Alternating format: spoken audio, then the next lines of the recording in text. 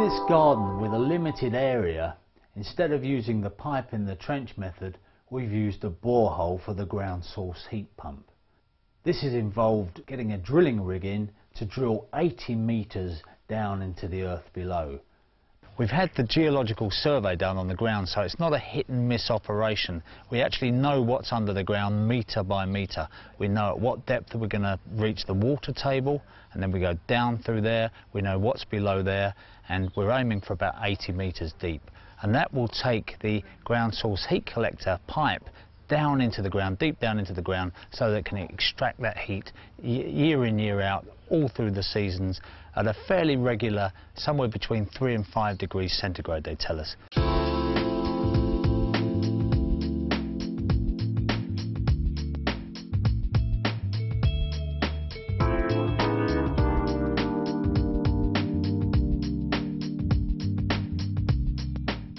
Now I'm just going to explain this because once they start drilling, they're going to chuck us off the site. They only want the skilled guys on who know what they're doing.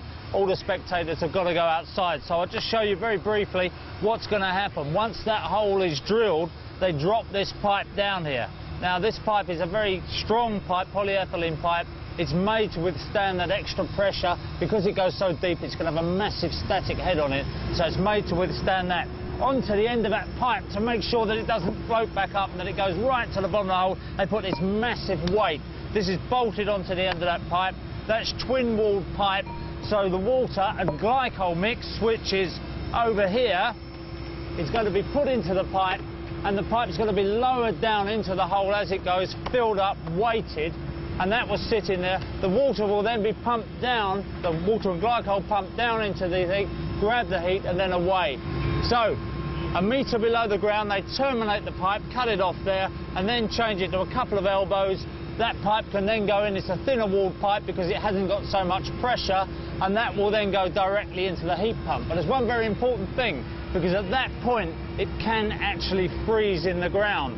And if it freezes in the ground, of course, the whole thing just locks up solid. So what we have is insulation here, which stops the transfer from the cold to the hot, so that those remain independent. There's one other thing that's happening here, because we've got a rainwater harvester, which is basically a big tank that sits under the ground to collect the rainwater for use, there is a possibility that if that cold pipe goes past the rainwater harvester and just takes heat out of the rainwater harvester all the time, you could actually freeze the rainwater harvester. So this insulation is very thick, class O insulation, very high grade, to make sure that that doesn't happen.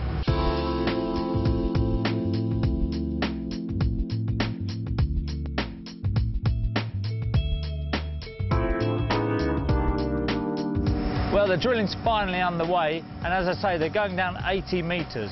Now, you might wonder how they arrive at that magical figure of 80 metres. They're not drilling for oil or water, so in a way, they can go as deep or as shallow as they like from that point of view. But the 80 metres gives them the required length to match the heat requirement of the house. In other words, they've done an assessment on the house, found out how much heat the house will need, and then they've measured that distance per, per metre of ground source heat collected, if you like, and that gives them the 80 metres down into the ground. Of course, if it was a bigger house, they could go deeper. And these guys are telling me that they can go down 800 metres.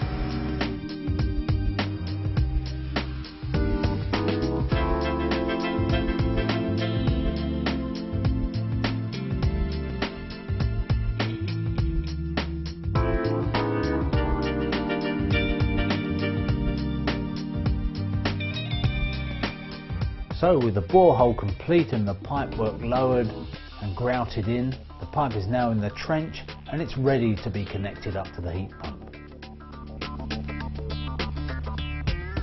The glycol is added through the pump unit, which mixes the solution and works the free air out of the water.